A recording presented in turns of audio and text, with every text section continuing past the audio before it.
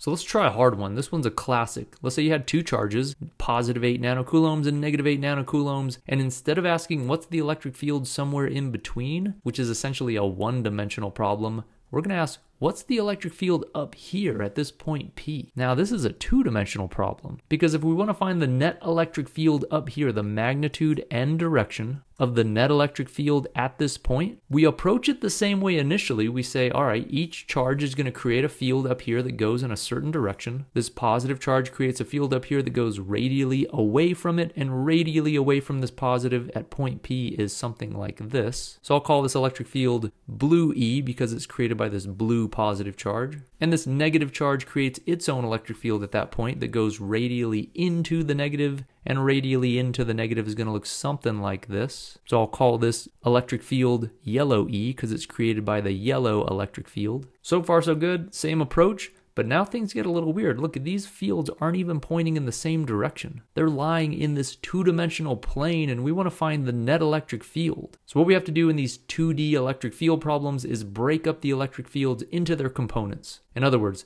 the field created by this positive charge is going to have a horizontal component, and that's going to point to the right. And I'll call that blue EX because it was the horizontal component created by the blue positive charge. And this electric field is going to have a vertical component that's going to point upward. I'll call that blue EY. And similarly, for the electric field this negative charge creates, it has a horizontal component that points to the right. We'll call that yellow EX and a vertical component, but this vertical component points downward. I'll call that yellow EY. So what do we do with all these components to find the net electric field? Typically what you do in these 2D electric problems is focus on finding the components of the net electric field in each direction separately. So we divide and conquer. We're going to ask, what's the horizontal component of the net electric field and what's the vertical component of the net electric field? And then once we know these, we can combine them using the Pythagorean theorem if we want to, to get the magnitude of that net electric field. But we're kind of in luck in this problem. There's a certain amount of symmetry in this problem. And when there's a certain amount of symmetry, you can save a lot of time. What I mean by that is that both of these charges have the same magnitude of charge. And because this point P lies directly in the middle of them, the distance from the charge to point P is going to be the same as the distance from the negative charge to point P. So both of these charges create an electric field at this point of equal magnitude. The fields just point in different directions. And what that means is that this positive charge will create an electric field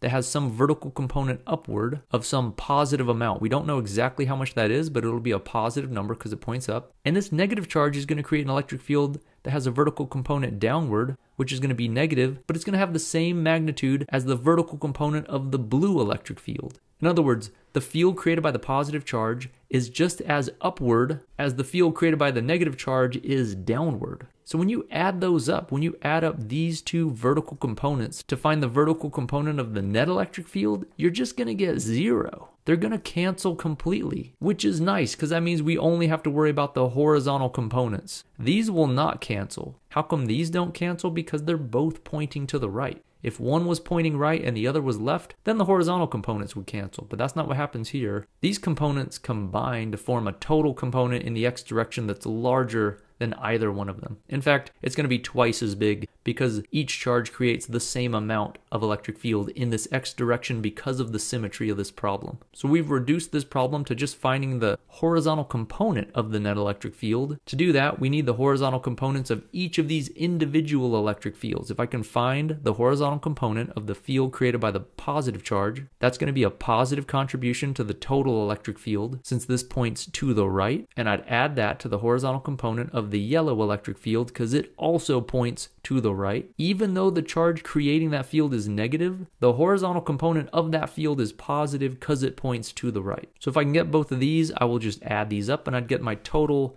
electric field in the x direction. So how do I get these? How do I determine these horizontal components? Well, to get the horizontal component of this blue electric field, I first need to find what's the magnitude of this blue electric field. We know the formula for that. I'll write it over here. The magnitude of the electric field is always k q over r squared. So for this blue field, we'll say that E is equal to 9 times 10 to the ninth, and the charge is 8 nanocoulombs. Nano means 10 to the negative ninth. And then we divide by the R, but what's the R in this case? It's not 4 or 3. Remember, the R in that electric field formula is always from the charge to the point you're trying to determine the electric field at. So R is this. This distance is R. So how do we figure out what this is? Well, we're kind of in luck. If you know about 3, 4, 5 triangles, look at this forms a 3, this side is 3 meters, and this side is 4 meters. That means that this side automatically we know is 5 meters. Now, if you're not comfortable with that, you can always do the Pythagorean theorem. Pythagorean theorem says that a squared plus b squared equals c squared for a right triangle, which is what we have here. A is this side 3, b is the 4 meter side, and then c would be r, so that I'll call that r squared. And if you solve this for r,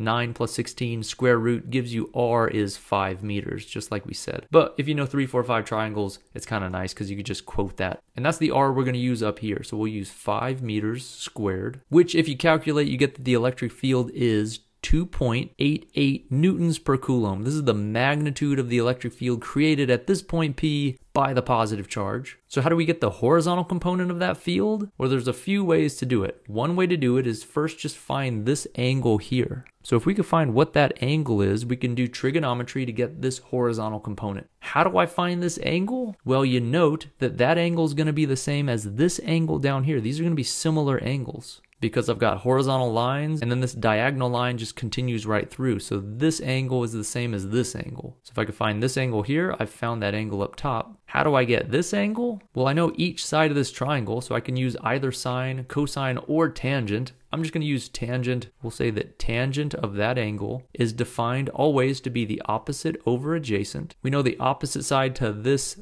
angle is 4 meters, and the adjacent side was 3 meters. So tangent theta is going to equal 4 thirds. How do we get theta? We say that theta is going to equal the inverse tangent of 4 thirds. We basically take inverse tangent of both sides. We get theta on the left. And if you plug this into your calculator, you get 53.1 degrees. So that's what this angle is right here. This is 53.1 degrees. But that means this angle up here is also 53.1 degrees because these are the same angle. This horizontal component is not the same as this 3 meters. And this diagonal electric field is not the same as 5 meters, but the angle between those components are the same as the angle between these length components. So what do I do to get this horizontal component? This is the adjacent side to this angle. So this EX is adjacent to that angle. So we're going to use cosine. We're going to say that cosine of 53.1 degrees is going to be equal to the adjacent side, which is EX. So we'll write this as EX divided by the hypotenuse, and we found the hypotenuse. This is the magnitude of the total electric field right here, which is the hypotenuse of this triangle, so that's 2.88. And we get that EX is going to be 2.88 newtons per coulomb times cosine of 53.1, which if you plug that into the calculator is going to give you 1.73 newtons per coulomb. This is how much electric field the positive charge creates in the x direction. That's what this component up here is is. This is 1.73 newtons per coulomb. So that's what this is. That's what I'm plugging in here. And to get this horizontal component of the yellow field created by the negative charge, you could go through the whole thing again, or you could notice that because of symmetry, this horizontal component has to be the exact same as the horizontal component created by the positive charge. So they're both 1.73, and they're both positive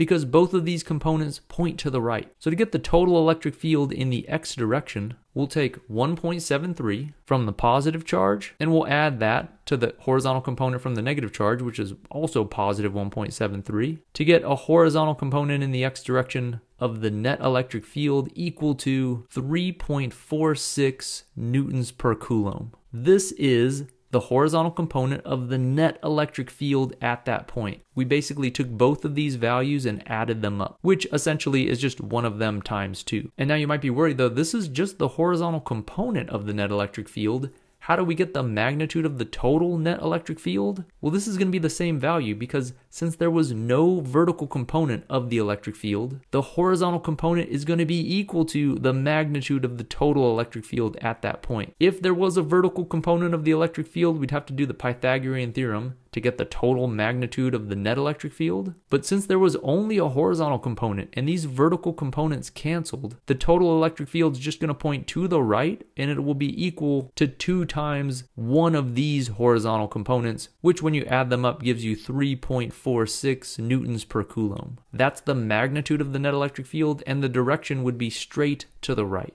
So recapping, when you have a 2D electric field problem, draw the field created by each charge, break those fields up into their individual components. If there's any symmetry involved, figure out which component cancels, and then to find the net electric field, use the component that doesn't cancel and determine the contribution from each charge in that direction. Add or subtract them accordingly based on whether those components point to the right or to the left, and that will give you your net electric field at that point created by both charges.